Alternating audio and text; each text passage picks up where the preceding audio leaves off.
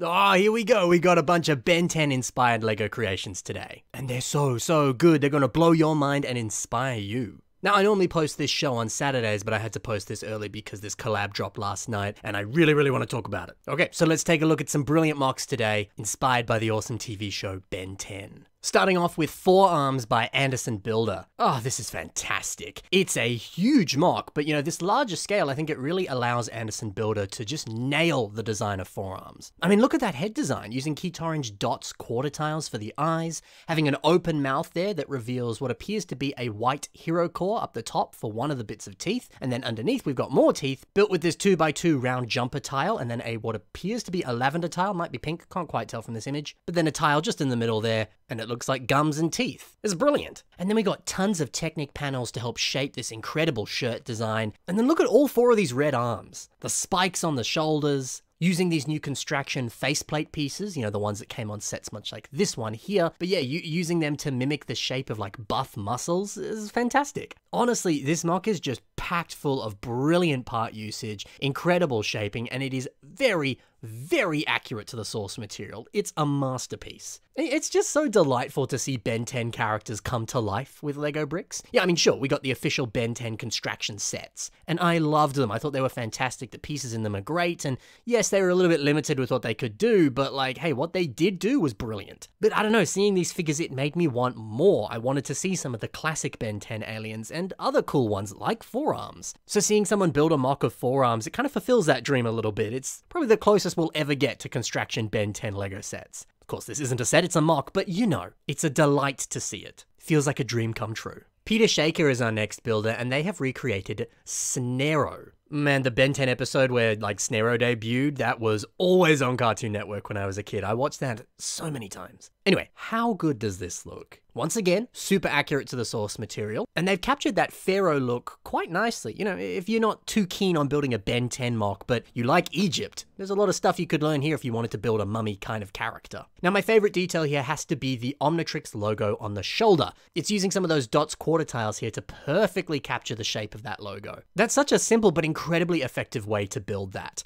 And I remember as a kid, like thinking about building Ben 10 MOCs, it was that Omnitrix logo that always like tripped me up. I was like, it's kind of crucial, but I don't really know how you could recreate it with Lego pieces. Well, with more modern Lego pieces, it's not too difficult. And then I believe there's a tire wrapped around the edge of that as well, just to round it off a little bit more and make it just that little bit more accurate. It just looks so good. Also, the way that they've used some of these Ray Ultra Build cloth pieces to mimic the wraps that you would find on a mummy, uh, that's amazing. I love that Ray Ultra Build set, man. It has great pieces, and that cloth on it, I've seen so many wonderful uses for it, and this is among one of the best ones. If you don't have that Ray Ultra Build set, go and buy it. It's a great little parts pack, and it's pretty cheap online, thankfully. Well, last I checked, who knows, maybe it's gone up overnight. The LEGO aftermarket is a crazy, crazy place with expensive stuff everywhere, so, you know, who knows? Still, great set. The pieces have been excellently used here. And the same could be said for some of these sword pieces on the head. They also convey those wraps quite nicely. Then you got this really thin but very posable limb design. Everything on here is so well done.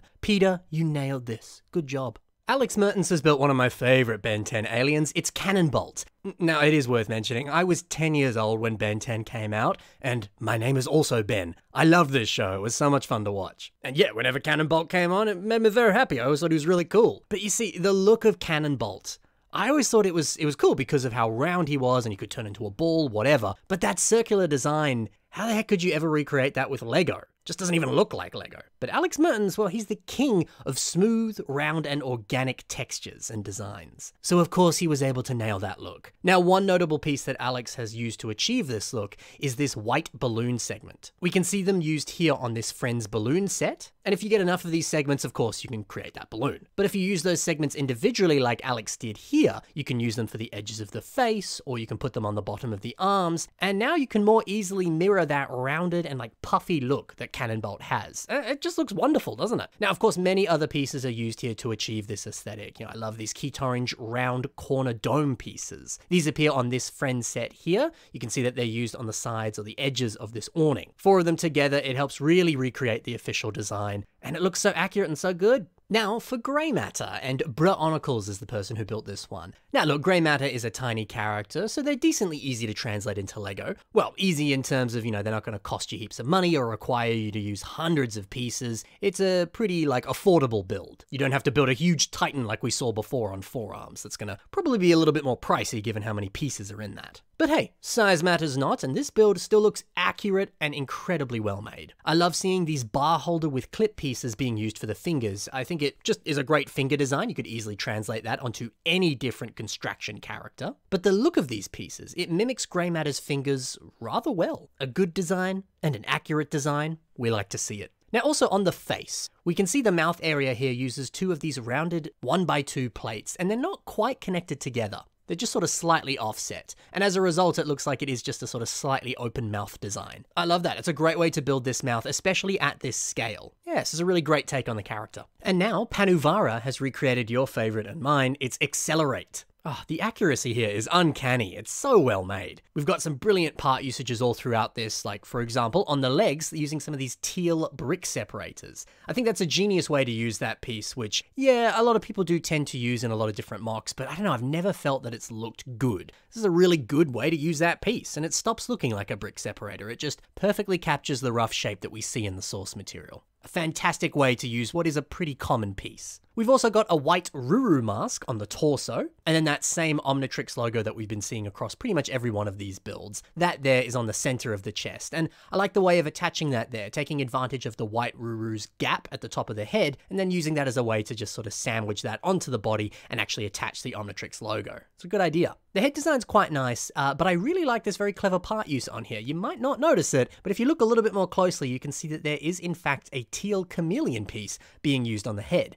That's a very clever way to inject just that little bit more teal into the design, but also a great way to recreate some of the black lines that we see on uh, XLR8's eyes in the source material. Very, very clever. Old mate Daniel Brickson has built Echo Echo. This is another huge mock, but it just perfectly nails the exact look of the character. I mean, you know, look, yes, it does cost a lot more to build something that is this big. It's a lot of pieces in that. It's going to take up a lot of space too. But building at a larger scale, it does actually give you a lot of room to play with and more surface area to cover. You know, sometimes building like a smaller mock, you actually have a lot less room. So adding in details can be tougher because there's just not a lot of area for you to build off of. There's less space to add stuff. So look, if you have the parts, build bigger. It actually gives you a lot more opportunity, a lot more places for you to connect pieces onto, and sometimes that larger size allows you to play with pieces in different ways that you just couldn't do on a smaller build. Suddenly those huge parts, you can more easily integrate them. And now it is also worth mentioning this is a digital mock, so you know, you don't actually have to pay for any of the pieces when you're building digitally. So why not build a digital mock and not have to worry about parts or time or the space that it'll take up?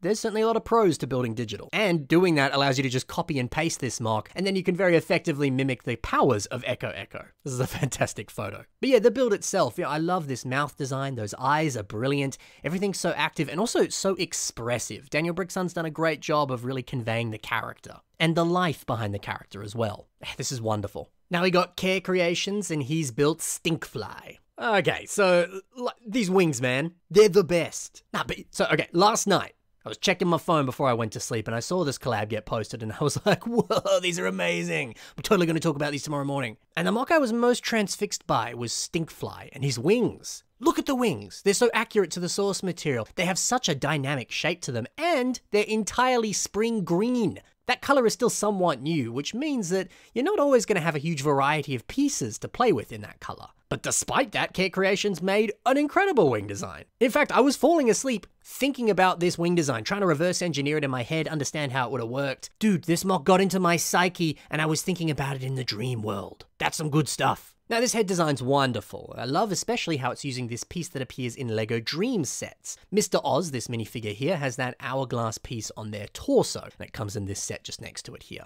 And yeah, honestly, that piece is a great way to build the Omnitrix logo that we see on the center of the face of Stinkfly. That's such a clever way to build that logo at a bit of a smaller scale, and it still look roughly accurate. A lot of the body parts on this use the tentacle pieces that came in the wonderful Doctor Strange 2 set, this one that you're seeing here. Yeah, this set was such a good parts pack pack, and it's just lovely to see all the pieces in this set being used so well on this creation. And then we got what appears to be unprinted pterodactyl heads in olive green, and they are the like tips of these tentacles at the bottom here. And now Brick Diamonds has built Ripjaw. Seeing them use a Rahkshi headpiece as like the basis of the head design, and then Brick Diamonds has decked it out with all sorts, you know, adding in things like teeth, eyes, this little doodly bopper on the top of the head. It's all sensational. And it's great to see a Rahkshi piece at the center of all of it. It's weirdly accurate. Now, there's a great, like, fish skin vibe to this MOC. All these smooth textures, it looks like they've just jumped out of water, and their skin's all wet. So there's something very aquatic about it, which is, of course, incredibly appropriate. But my favorite little bit here has to be this 2x2 curved slope on the torso that has a nice printed pattern on it. Now, this actually came on the recent Hedwig set,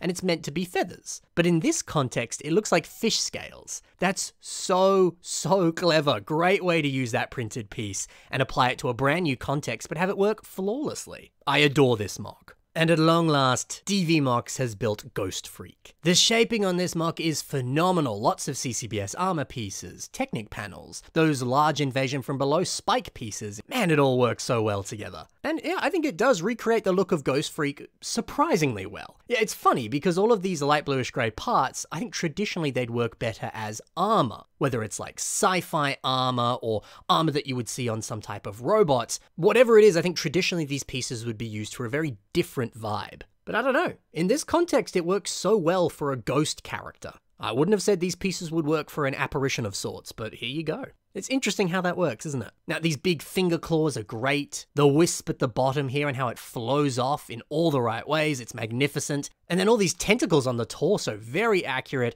and very, very well executed too, and wonderfully creepy, which you'd expect. Now, these bent tentacle elements, they appear in white on the LEGO Piranha Plant set that came out not too long ago. We can see them as the lips on the Piranha Plant here. And then Cole's Earth Dragon Evo has these same pieces in black on the tail at the back here. The way the tail kind of rounds off there too, that exact piece is also seen on this MOC too. It's at the back of the image, unfortunately, but if you look at the front, you can see those exact same pieces in gold. Both of them as well, they're used for the horns. Yeah, that new macaroni style piece that's being used here, it might be one of the best new LEGO elements they've ever made. And seeing it in action on this Mark, ah, they just rock. This truly is a terrifying, beautiful build. And all these Ben 10 MOCs today, they are mind-blowingly good. This was an incredible collab with all sorts of phenomenal builds and phenomenal builders as well. Be sure to check the links in the description below and check out more from these builders. If they built these good Ben 10 MOCs, you better believe they've built all sorts of other good stuff, so please go check out what they've made. If you've got a collab coming up or one that you've already posted but you'd like to see on the Bionicle Inspiration series, be sure to email it to the submission email and I'll do my best to put it into an episode. And do remember the only way to submit stuff to the show is through that submission email. If you contact me through social media, I unfortunately cannot accept it. That is purely based around the fact that it's all in one location for me. And then if I do want to kind of filter through and find something, I don't have to be like, oh, yes, that was sent to me on Instagram on April 22nd. Let me scroll through a thousand messages until I find it. I still can't find it. Oh, where is it? But all in one place just makes it a thousand times easier for me. So thank you for bearing with me, but it will have to be through that submission email. I cannot accept it otherwise. I will forget about it, that's why. But feel free to message me on Instagram and just chat. If you want to ask me a question or something, that's the place to do so. If you ask me a question through the submission email, probably won't reply to it there. That's just for submissions. Anyway, thank you so much for watching. Love you tons. Some incredible builds today. Thank you and good night.